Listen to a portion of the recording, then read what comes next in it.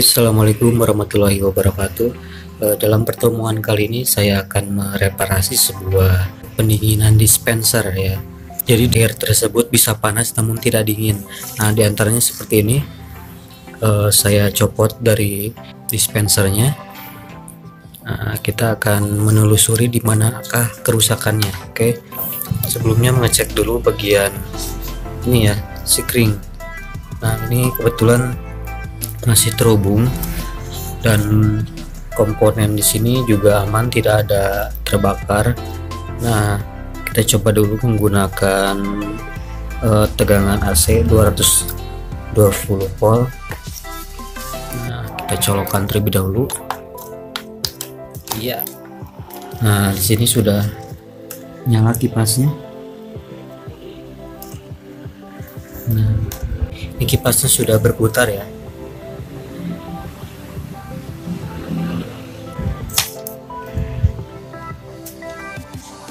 namun di bagian heatsink, nah di sini ini peltier. Nah, harusnya ini anget ya panas. Kalau misal peltiernya normal. Oke. Seperti ini. Ini soket yang arahnya ke peltier. Nah, ini untuk ke sensor suhu di dalam ini uh, nanti air itu masuk ke sini dari atas ke bawah ke sini ya. Nah di sini ada rongga-rongga kemudian ada air aluminium untuk mendinginkan. Di sini ada aluminium ya yang nantinya dingin dari peltier akan diteruskan ke air. Nah tidak panas sampai sekali ya. Ini dingin. Harusnya aluminium ini panas ya. Nah yang atasnya ini harusnya dingin nah ini tidak ada sama sekali. Kita bongkar. Kita matikan dulu tegangannya dari sini. Oke. Nah, sudah. Cabut dulu. Nah yang pertama kita harus membongkar ini menggunakan obeng kembang oke? Oh,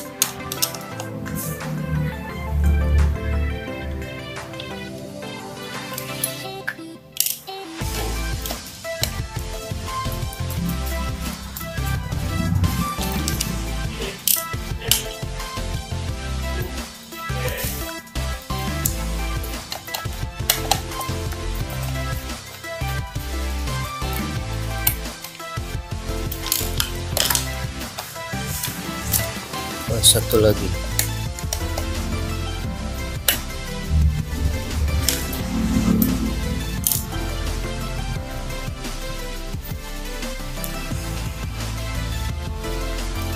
Nah sekarang kita lepaskan soket yang arah ke peltier ya. Nah seperti ini. Kemudian ini juga lepas si sensornya Nah, ini adalah pendinginan dispenser. Nah, untuk ini ada power supply. Ya. Kita coba lagi menggunakan tegangan. Namun sekarang kita akan mencoba mengukur apakah eh, di sini terdapat tegangan atau tidak di soketnya ya nah ini soket peltier nah, kita harus menggunakan alpometer nah, untuk mengetahui apakah tegangan dari power supply tersebut ada atau tidak ya. Kita set dulu ke 50 ke 50 volt karena harusnya kalau misalkan ada ini ada tegangan dari sini bisa 12 volt ya. 12 volt coba menggunakan ukur ya. Sebelumnya kita harus menghidupkan dulu. Oke.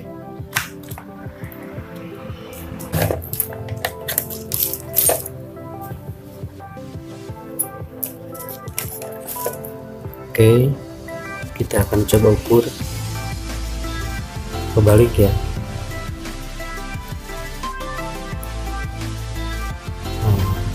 dia ada tegangan 12 volt ya. Berarti uh, power supply ini masih normal. Buat tegangan 12 volt oke. Biar normal. Nah yang jadi kendala sekarang adalah peltier nya kita coba juga ukur. Pas sebelumnya kita terus matikan dulu ya agar tidak kesetrum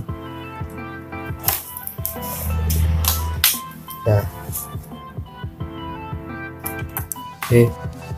Nah kita harus coba ukur uh, peltiernya di multimeter itu X1 ya di sini. Kalau di probe begini kan bisa nyala. Oke. Nah, sekarang kita coba ukur ke peltiernya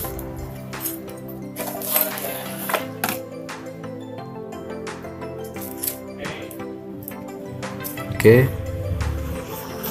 Ini udah rusak ya. Meskipun dia ada naik jarumnya namun tidak full atau nyala merah. Harusnya kalau misalkan petir yang masih bagus lampu LED indikator pada multimeter akan menyala dan jarum ini akan full sini. Kita bongkar peltiernya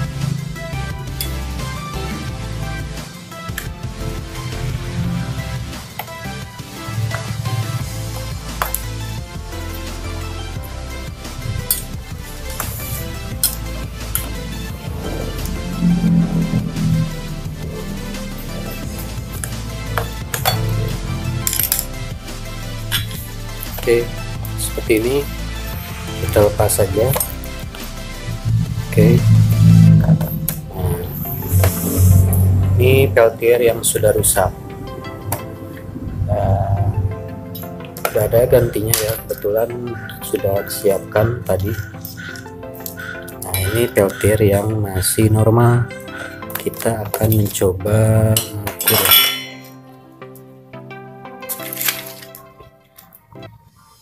menggunakan avometer ya. Ukurnya tetap sama di X1 kita probe nya tempel. Nah lihat. Di multimeter dia menyala merah. Dan jarumnya sampai sini. Itu menandakan peltier ini masih normal. Nah kalau kita memberikan tegangan ya. Memberikan tegangan 12 volt ke peltier ini nah ada tulisannya di sini. Yang ada cap ini tulisan. Dia akan panas dan sisi uh, bawahnya ini akan dingin ya. Nah, oke kita pasang ke sini.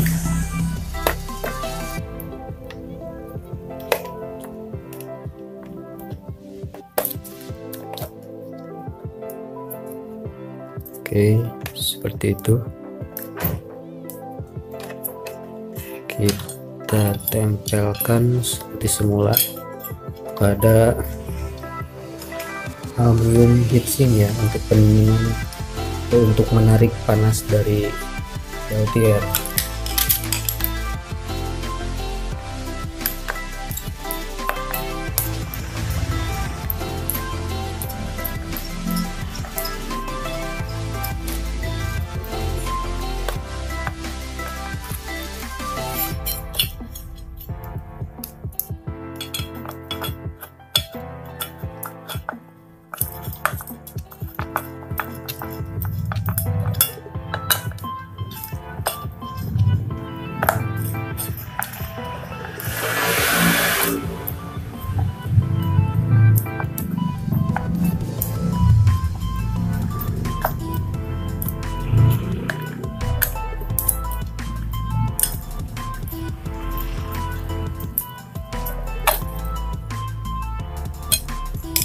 Oke kita pasang lagi di power supply.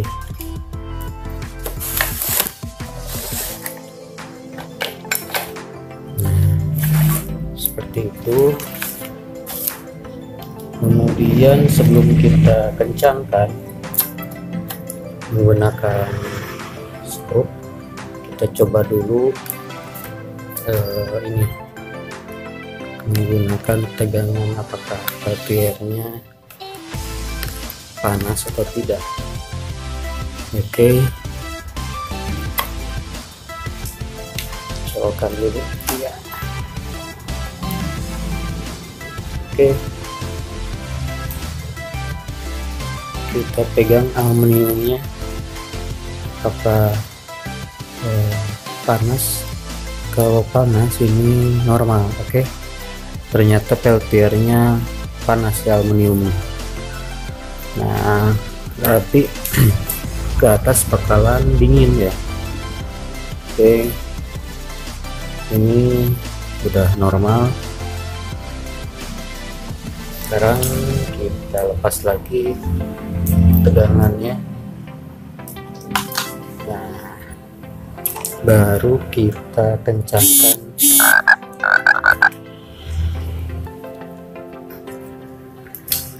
oke.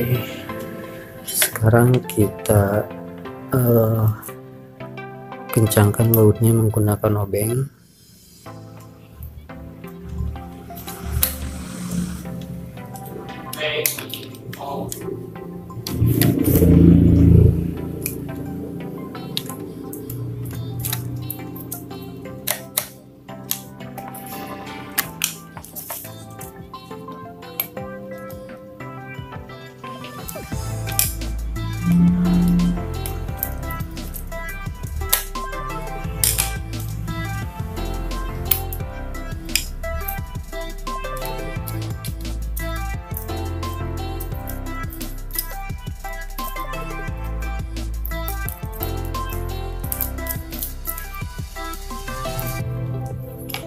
Oke, seperti itu.